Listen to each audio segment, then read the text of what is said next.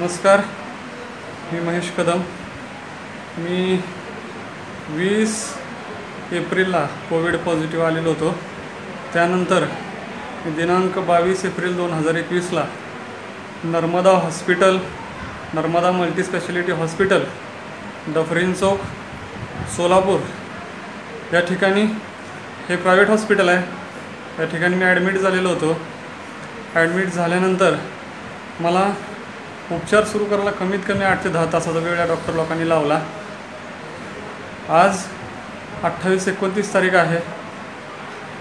मला कसल्याही प्रकारचा फरक नाही. नुसती पैशाची मागणी या ठिकाणी केली जात आहे मला. ऑक्सिजन पाहिजे असेल द्या पन्नास हजार रुपये. व्हेंटिलेटर पाहिजे असेल द्या दोन लाख रुपये.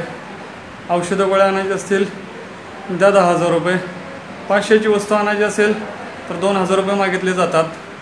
संडास बाथरूम टॉयलेटला पाणी नाही रात्री. एक वाजल्यापासून ते सकाळी आठ वाजेपर्यंत. टॉयलेट बाथरूममध्ये पाणी नाही. तर इथले मॅनेजर ज्यांचं नाव रुपनर म्हणून आहे हे टॉयलेटला पाणी नाही. राहू वाटलं राहा. ना काय तुला माझं वाकडं करायचं आहे? आमच्या हॉस्पिटलचं वाकडं करायचं आहे? ते वाकडंकडं असे गुंडगिरीची भाषा करतात. आम्ही असे तुझ्यासारखी लय इंजेक्शन देऊन मारले तिथं या हॉस्पिटलमध्ये तू काय आमचं वाकडं करणार आहेस?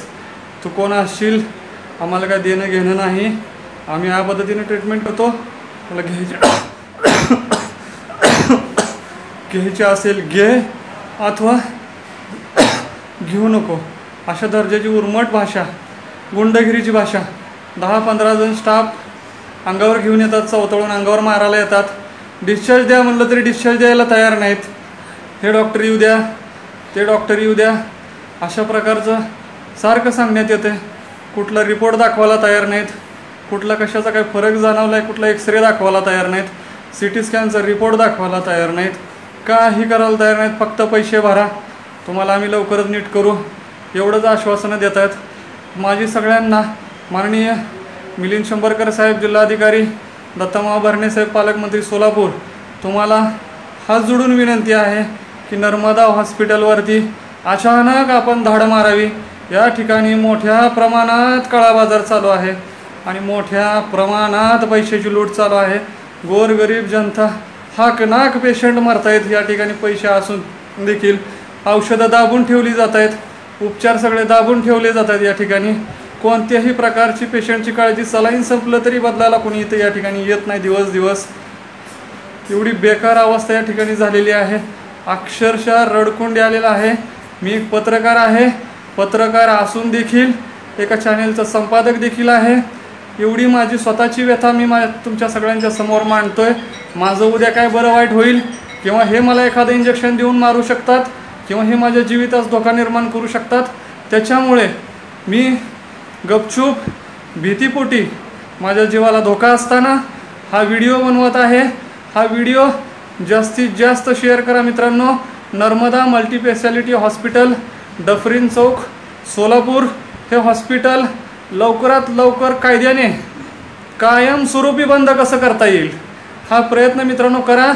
चुकूनही कोणी या हॉस्पिटलला ॲडमिट होऊ नका. मी स्वतः आठ दिवसाचा अनुभव घेतलेला आहे. काही नाही. माणसं मारण्यापलीकडे हे लोक काहीही करत नाहीत.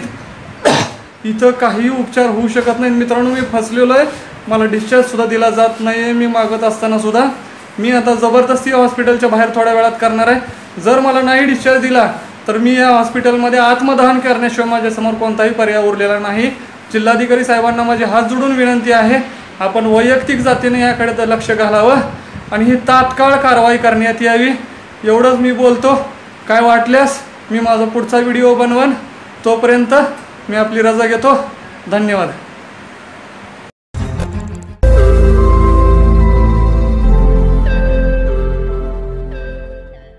रोज नई खबरों को देखने के लिए हमारे औरंगाबाद समाचार चैनल को सब्सक्राइब कीजिए और नोटिफिकेशन पाने के लिए हमारे बेल आइकन को दबाइए ताकि हर खबर की नोटिफिकेशन आपको मिलती रहे।